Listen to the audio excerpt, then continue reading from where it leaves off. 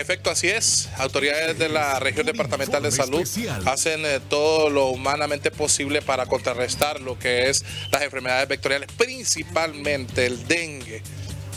Pese a eso, son más de 12 casos que van en este año confirmados de dengue hemorrágico. Doctora Carmina Sosa. Semana a semana, ¿verdad? Se ha estado reportando los bajos índices de casos de, de sospechosos de dengue eh, cada caso que suma y cada semana que vamos es, eh, se va volviendo alarmante ya que todas las semanas se están reportando casos sospechosos, que si bien es cierto no todos se confirman o no todos tienen una muestra, pero eh, sí nos va posicionando ya en una fase de alerta a nivel nacional no tanto como los municipios del norte y algunos municipios del centro también que estamos que están en mucha alerta, en mucha epidemia pero eh, el, el, hecho de que se estén presentando casos semana a semana es es ya una evidencia de que el virus puede estar circulando, que el zancudo adulto está transmitiendo la enfermedad de una persona infectada a otra persona sana y que debemos siempre mantener las medidas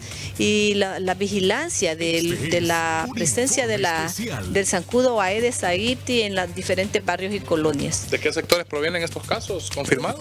Mm, bueno, los confirmados tenemos uno de San Matías, de Robledal San Matías y el otro de Soledad, Soledad ¿verdad?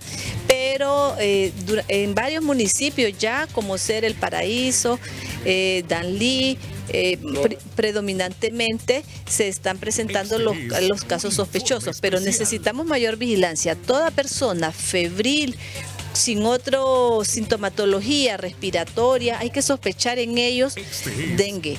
Eh, hay que sospechar en ellos también malaria si viene de zonas endémicas, que es otra enfermedad transmitida por un vector. Es necesario que también nos reporten tanto de sector público y privado. Hemos informado también ya a todos los establecimientos de salud que tenemos en el Departamento del Paraíso, aquí en el laboratorio de la región, la prueba específica para dengue.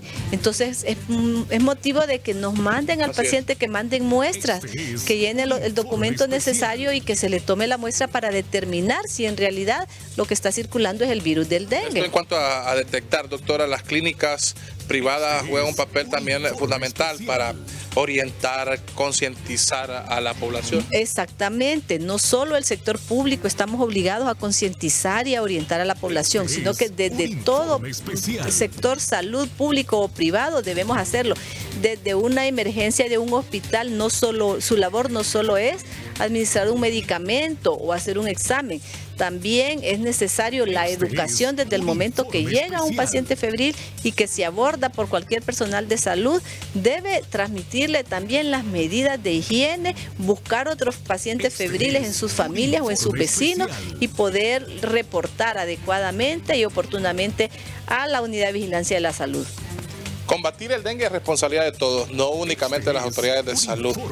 Hacer su vivienda elimine todo recipiente que acumule agua. Eso es importante. La enfermedad mata, mata.